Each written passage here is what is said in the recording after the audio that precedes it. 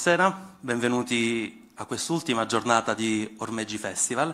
Sta per iniziare la presentazione di Silvia Camerino, Un giorno questa terra sarà bellissima, con Antonio Cheffallo che modererà l'incontro.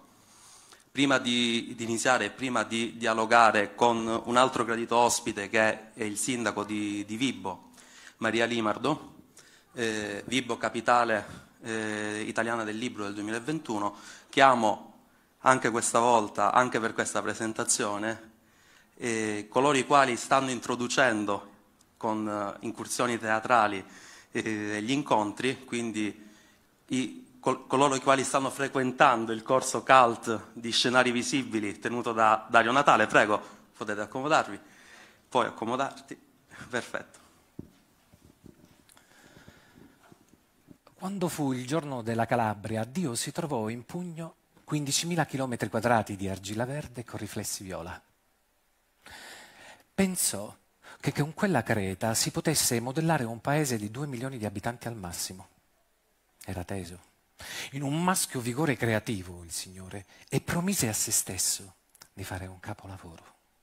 Si mise all'opera e la Calabria uscì dalle sue mani più bella della California e delle Hawaii, più bella della Costa Azzurra e degli arcipelaghi giapponesi diede alla Sila il pino, all'Aspromonte l'ulivo, a Reggio il bergamotto, allo stretto il pesce spada, a Scilla le sirene, a Chianalea le palafette, a Bagnare i percolati, a Palmi il fico. Alla Pietrarosa la rondine marina, a Gioia l'olio, a Cirò il vino, a Rosarno l'arancio, a Nicotera il fico d'India, a Pizzo il tonno, a Bibbo il fiore, a Tiriolo le belle donne al Mesima alla quercia, al Busento la tomba del re barbaro, alla Mendolea le cicale, al Crati l'acqua lunga, allo scoglio il lichene e alla roccia l'oleastro, alle montagne il canto del pastore errante da uno stazzo all'altro, al greppo la ginestra, alle piane la vigna, alle spiagge la solitudine, all'onda il riflesso del sole. Poi distribuì i mesi e le stagioni alla Calabria. Per l'inverno concesse il sole, per la primavera il sole, per l'estate il sole, per l'autunno il sole.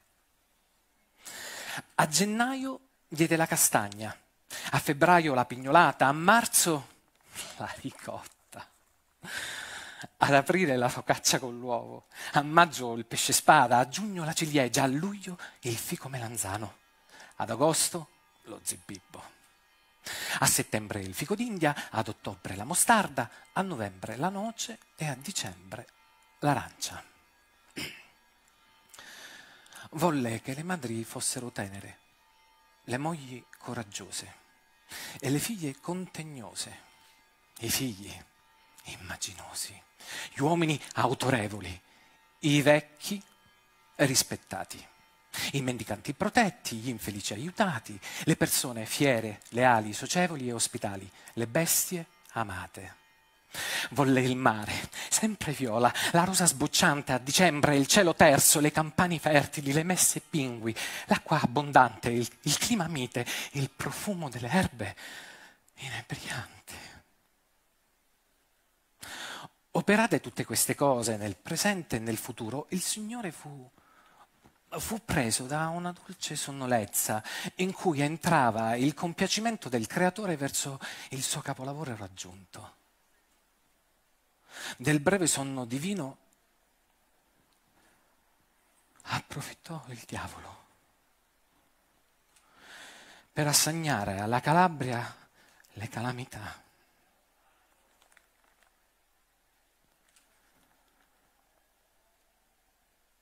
Le dominazioni, il terremoto, la malaria, il latifondo, le fiumare, le alluvioni, la, la peronospera, la siccità, la mosca olearia, l'analfabetismo, il punto d'onore, la gelosia, l'onorata società, la vendetta, la lomertà, la violenza, la falsa testimonianza, la miseria, l'emigrazione. Dopo le calamità, le necessità. La casa, la scuola, la strada, l'acqua, la luce, l'ospedale, il cimitero. Ad esse aggiunse il bisogno di giustizia, il bisogno della libertà, il bisogno della grandezza, il bisogno del nuovo, il bisogno del meglio. E a questo punto il diavolo si ritenne soddisfatto del suo lavoro. Toccò a lui prendere sonno. Mentre si svegliava il Signore, quando aperto gli occhi poté abbracciare in tutta la sua vastità la rovina recata alla creatura prediletta. Dio scaraventò con un gesto di collera il maligno nei profondi abissi del cielo, poi, poi lentamente, rasserenandosi, disse, questi mali e questi bisogni sono ormai scatenati e debbono seguire la loro parabola. Ma essi non impediranno alla Calabria di essere come io l'ho voluta. La sua felicità sarà raggiunta con più sudori. Ecco tutto.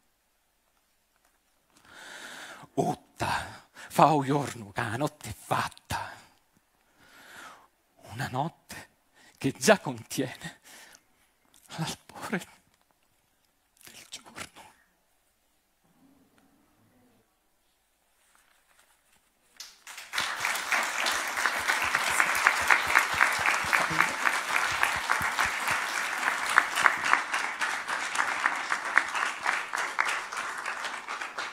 Grazie, grazie di cuore. Maria Limardo, prego. Allora, il, il, sindaco di Vibo è qui ovviamente in veste di primo cittadino della capitale del, italiana del libro 2021. Quale migliore occasione per noi avere e quale, miglior, quale onore avere una città così vicino a noi insignita di questo, di questo riconoscimento. Cosa vuol dire per la Calabria? Eh, intanto grazie per l'invito, sono qui davvero, partecipo con gioia a questa a questa kermesse. L'ho detto poco fa, con qualcuno ho trovato un ambiente bellissimo, ospitale, accogliente, soprattutto quello che mi ha colpita è l'entusiasmo di voi giovani nel portare avanti questa bellissima realtà, eh, nonostante tutto e tutti e nonostante le straordinarie difficoltà che immagino ci siano nelle, nello svolgersi quotidiano delle cose.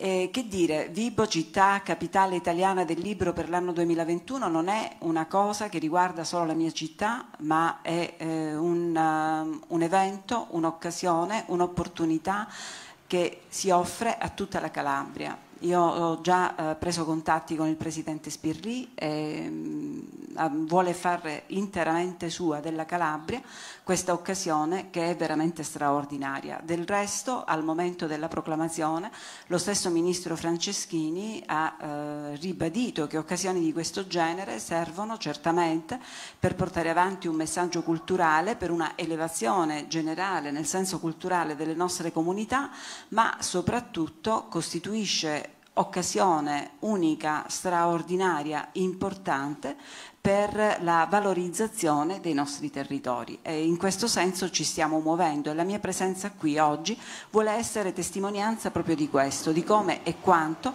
questa proclamazione non sia un fatto egoistico che riguarda soltanto la mia città, ma è un qualcosa che si deve allargare eh, a macchia d'olio fino a raccogliere la Calabria intera. Oggi siamo qui, ma insieme con l'assessore Daniela Rottino che è qui con, con, me, saremo a Rossano Corigliano da qui a qualche giorno e poi ancora in moltissimi altri posti di tutta la Calabria.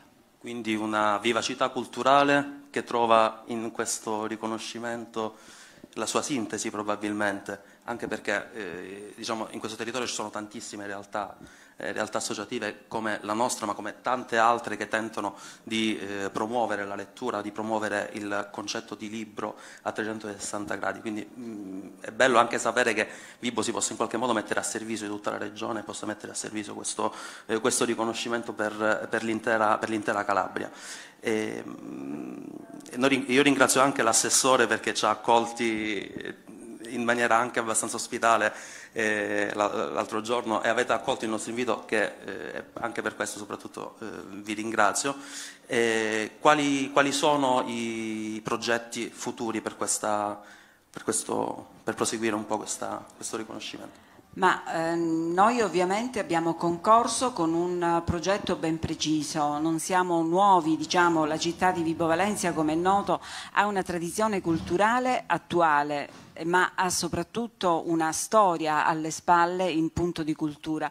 Eh, saprà senz'altro, lei è giovane, ma saprà che la città di Vibo Valencia da sempre storicamente è stata eh, meta eh, di tutti eh, gli studiosi più autorevoli, non solo della Calabria, ma a livello nazionale e quindi ha una sua storia in questo senso. Del resto negli ultimi anni noi abbiamo conseguito il titolo di Vibo Città che legge, abbiamo stipulato moltissimi patti per la lettura che sono stati apprezzati dal CEPEL eh, e che eh, appunto hanno visto comunque un percorso eh, a coronamento del quale abbiamo presentato questa, questo progetto ed è stato ritenuto assolutamente valido. Eh, che dire, il progetto è un progetto composito, eh, lo abbiamo elaborato appunto con l'assessore Rotino eh, a 360 gradi e eh, sarà svolto nell'arco di un anno, per cui abbiamo un anno davanti a noi per realizzare questo programma che è molto ricco, molto vasto, molto intenso, molto impegnativo. Va benissimo. Allora, noi adesso lasceremo ovviamente spazio alla, alla presentazione di, eh, di, Silvia Camerino. Io la ringrazio nuovamente per aver, per aver accettato, accettato l'invito. Eh, cosa si augura eh, nel 2022? Quali sono i risultati che vorremmo conseguire? Eh beh, intanto innanzitutto quello di eh, far eh, riscoprire l'orgoglio identitario ai cittadini calabresi.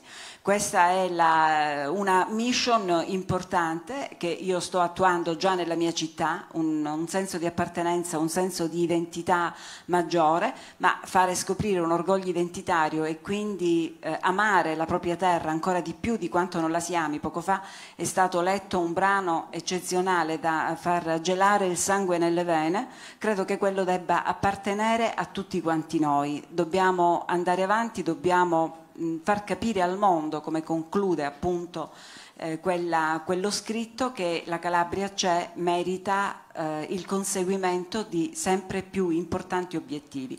Siamo un po' più in ritardo, ma sono certa che ce la faremo. E ce la faremo, ce la faremo. Maria Grazie. Limardo.